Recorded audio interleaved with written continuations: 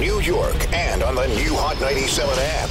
Ebro in the morning on Hot 97. Ladies and gentlemen, there's a new public advocate in New York City. Our man Jumaane Williams is here. Yay! Thank you, thank you. Yo, fir- Congratulations. Yeah, first of all, congratulations. Thank you. And uh, I guess I, I would be remiss if I didn't start off by asking you about your speech. It was such a touching speech that my, my dad called me. My dad now lives in Maryland, but po- pays, pays close attention to New York politics, and was like, Did you see Jumaane Williams' speech? It's so touching. Um, you decided in that moment to talk about being in therapy for the last three years. Why did you decide at that moment that it was important for people to hear that about you?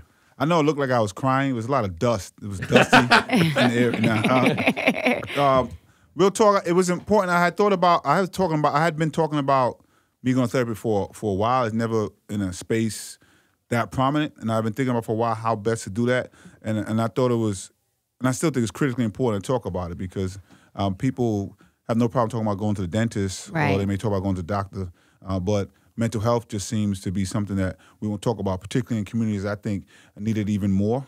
And it's just critically important to be able to have that conversation. That it's actually strength to reach out and say I need some help, and it's a strength to have these conversations.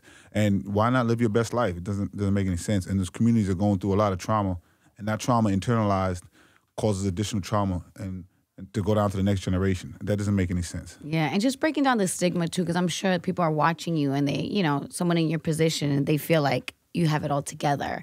So I think it's, it's like just to just to back battle, uh, back up what you said. I just think it's super important that you know you open up about things like that, so people in the Black and Brown community, especially who you know have a stigma, whose parents don't believe in mental health or don't believe in therapy, that they're now seeking. Because I feel like more and more people are more open Yeah, it to seems talk like about getting. it. And- what made what made you decide, by the way, three years ago? How you're 40, 42. 42. Yeah. So why at 39 did you decide after a lifetime uh, that you needed to go to therapy? The main one was actually was real personal. I I like my, my relationships just never never uh, reached a pinnacle. Right? Never. I was 39, not married, had some some great relationships, and the common denominator between all my relationships was me.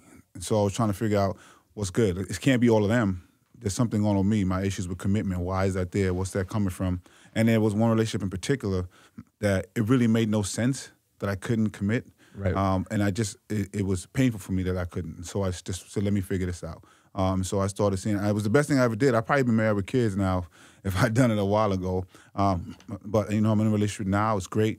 Uh, she wanted me to shout her out in case it. Uh, if You need to shout your girlfriend out. She India, was there. Let me shout out India Sneeve real quick. Um, but um, that relationship, um, this relationship now is, is, is I'm benefiting from um, all the, the all the, the the therapy that I did do, and really I was really like most people are really attached to work. No matter what I was doing, even as an organizer, executive director of an organization, council member, I was really attached to that as who I was, and I was able to break out of it and really see my place in the world without it, and it's very powerful and freeing. So one of the things about you that I that I've read is that when you were a councilman, you know, anytime you'd hear about a shooting in the city or um, you know someone um, being killed, uh, not maybe not everyone, but you would show up at funerals and you would make it a point to see families. Why why was that something that you found really important for your job as a councilman to do? I just knew, you know, just growing up, you know, I've been black a pretty long time, and so uh, just I, going, I would argue 42 years. yeah, Damn near. uh, the um, I knew there was there were there were ways we can get at this violence, but we had a way of normalizing it, and so for me, it was just like I don't know what to do. I like this before I, I have better answers now, but when I got elected, it was like, what do you do when this is happening? And, and, and I always say, do what you can with what you have where you are. And all I had was me. All right, let me just go and, and be present. Be be say like, look, we should stop for a second. Somebody died here. We can't just you can't just go back to work. You can't just walk past this place. We can't just we can't just keep going on like like a, a human being didn't die. And, and not to mention all the people around them that were just permanently traumatized. Absolutely. Right. So there's a spot now. Like it doesn't just disappear. That's right. There's a stain. That's that- right. That, affects other people It's a forever. fact. And I'm sure you got a lot of uh, appreciation from families because usually a lot of these families they have to deal with all this trauma. They feel they don't feel seen. They Yeah. feel like it just happens and nobody cares. And so that was so. So for me, I was like, I don't, I don't even know what to say. What am I going to say to you right now? Like you just lost your the, the strength that they have is. I'm I'm still amazed whenever I go. Like I don't even know how you're up, doing Right. anything. Like I was just being fetal, but they were moving. And so what I did learn was that exactly. Just being present was a help. Just having somebody say your pain is real and somebody in some kind of authority is recognizing that. And so that itself, I realized was important. Um, but it's also, you know, you just want to also make sure if you're doing that, that you're checking yourself because you can grab onto some of that trauma and you have to make sure you're doing it in a healthy way also. Uh, So it doesn't it doesn't start wearing you Yeah, down as well. So as public advocate, what are your top priorities? What are the things that's going to separate Jumaane from Tish and from the people your predecessors?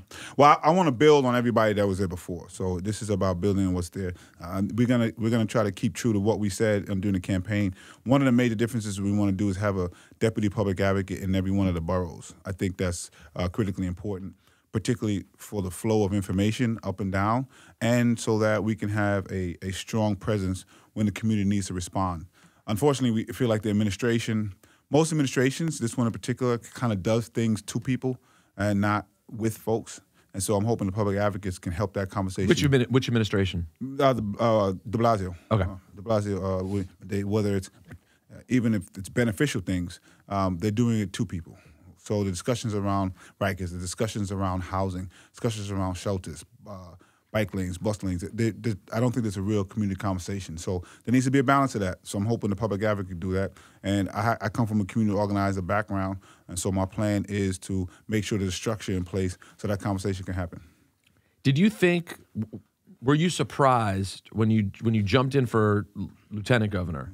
Were you surprised that you did as well as you did? Like all of a sudden to go for statewide office and get 47% of the vote. Was that real was your plan at that point to win or were you like let me just do this and get people to know my name a little bit and then you almost, almost damn near won? So I always run to win. I was kind of surprised though. Like both of those things are true. like so, I don't I don't jump in just to to get a word out. I really say, okay, is there a path to victory? We actually did a uh, quick tour before I decided to run. What shocked me the most was how receptive people were. I was like, oh, there might be something here. And so we jumped in with a plan to win. Did I think we'd get 47% across the state? I'm not. I'm not sure about that. Uh, did I think uh, we we won New York City by double digits?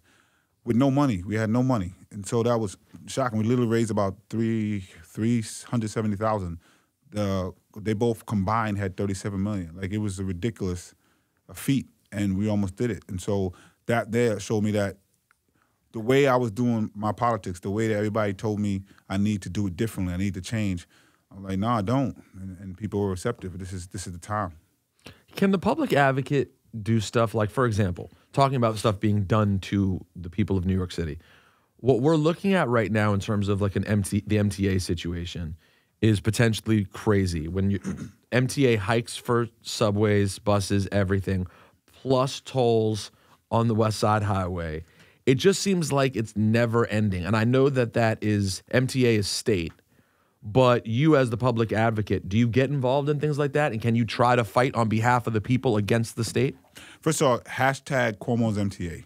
This is Andrew Cuomo's MTA. He he only tries to, tries to claim it when it's the Second Avenue subway or when he wants to bash the L train uh, issue after everybody spent millions of dollars in time. Uh, but when there's a problem, he tries to pretend like it's not his. It is his. It is a problem. Um, uh, I do support the theory behind what the Speaker Johnson just said, um, uh, municipal control. I do have some concerns about the plan as presented, uh, but I don't mind uh, having more control in the city uh, if the funding from the state still continues to be there, which is critically important.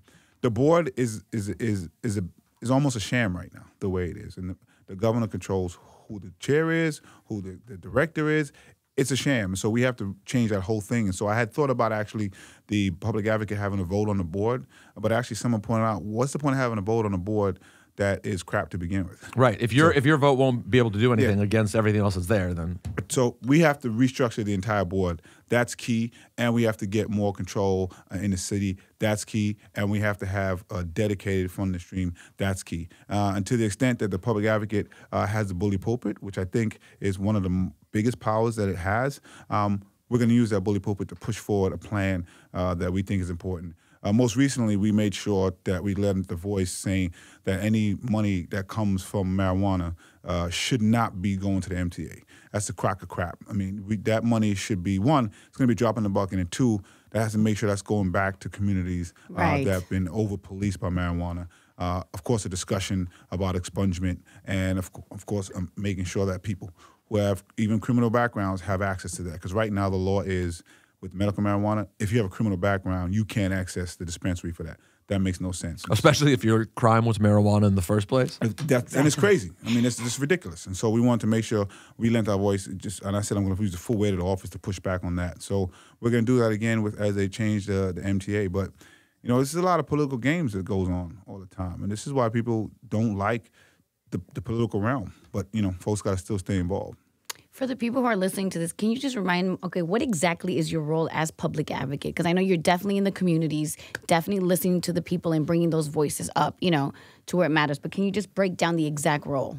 No doubt. Um, so it was created in 1989. The first public advocate was 1993. People may remember uh, the name Mark Green. Um, they said at that time they wanted the public advocate's office to be a position that would rise above politics, make decisions that were based what's best for the people, not themselves. They gave it five power.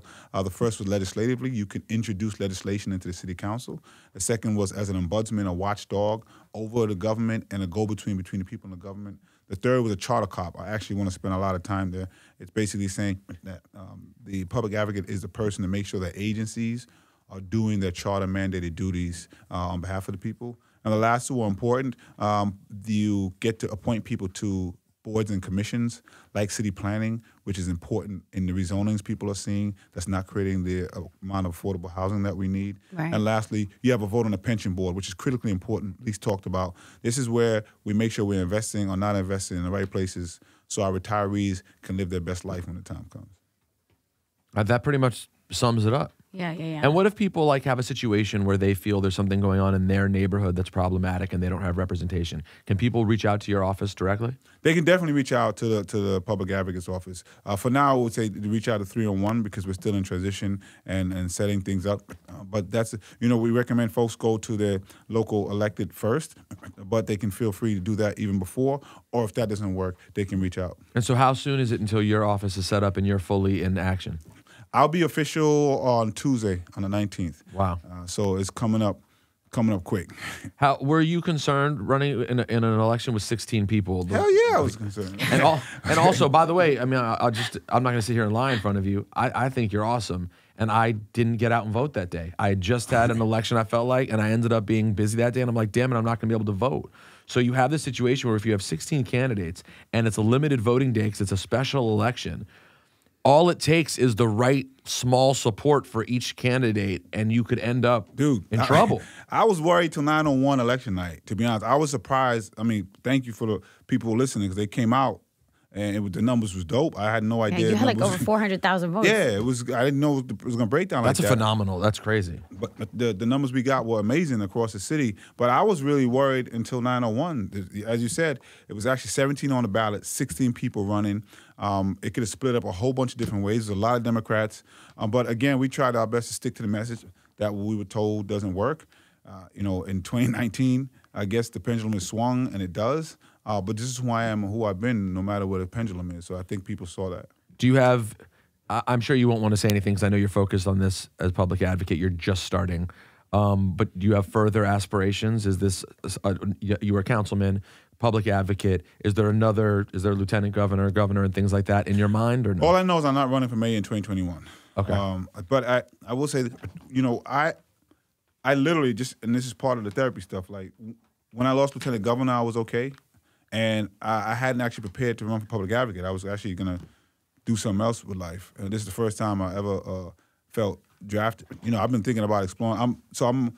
My first love is acting. My Tourette's go away when I'm on stage. Like it's a, it's a, it's a zen place for me, and so I was thinking about doing that. Um, so I don't know what the future holds. I know I'm very excited to have this job, and I'm going to continue to do it. If something comes up, maybe, but I'm, I'm really just focused on it. Um, how? So literally, if you're performing, your Tourette's disappears. Yeah, it's a very, it's a pretty zen place for me. I think, I think I've heard people who stutter when they sing. It's a similar kind of thing that, Yeah. that goes on. So it's something that that I enjoy. Did you? How far did you go in, in acting? I mean, um, up until college, right? College, and yeah, cou- you see me in a couple videos, a couple EPMD videos. Which solo- ones, one, please? um, it's the the joint. I'm at the beginning. I didn't get it. I didn't really get in, but at the joint, you see me in the, in the um. Johnny, connect me to the Bluetooth. man. yeah, connect me to the Bluetooth right now. Yeah, a little no, no, not cameo, bars, just little to give just to give people the moment because this is that takes us back to 1998, Yeah, yeah. I believe. You see me in a jeep. I got some locks, just bobbing my head. And there, And- was, Wow. there was a group called Solo that uh, I was in. They hemmed me up at the beginning, uh, trying to get into a club. But I was, you know, I this is the direction I was going in uh, at Brooklyn College. And then I changed my my major to film because most of the auditions I was going on were for murderers and drug dealers. And I was Mm-hmm. like, nah, I'm gonna tell my own story. And then I got heavily involved in politics, and here I am. And what was the turning point that was like that made you want to get involved in politics? I was- Oh wait, that's it. Make a million bucks every six So you were nodding to and this. I was nodding to Game, So I remember, I name. think what happened was um, they had us right before, like, like EPMD broke up. We were listening to something, and then EPMD broke up. Oh, and then they came in. and then this comes on. yeah, taking it back to the nineties. That's tight. That's fi- that, that's fire, bro. Um, well, listen, man. I, I honestly, all of us are very excited. It's Just it's, you know, this is an exciting time for. I have a lot of concern about, and I think we all do about national politics. Um, but here in New York, it appears we have a few young stars that are like really ex- exciting and progressive and seem to actually care about the community. So we were all very excited to see you get the victory, man. I appreciate. I, uh, just two things really quick. One, I um, I just remind people all the stuff that we're dealing with, what came before Trump, and there were Democrats in charge. And so even though I'm a Democrat, we got to hold them uh, accountable as well. And if somebody I, I, I forgot to shout out that night, his name is Kirsten Foy, and I always want to make sure I shout him out. It's my brother, and uh, I probably wouldn't have got here if uh, we hadn't had certain discussions. So I want to make sure. So he's just a friend who really helped guide you. this is a, a, a brother from another, and uh, we had to have some pretty intense conversations. Uh, and, but because of those, you know, I'm, I'm here. Um, all right. Well, his name's Jumaane Williams. You're going to be seeing his name more and more, and we're very excited to to have you in New York City to represent. And uh, good luck, man. Thanks, man. Peace.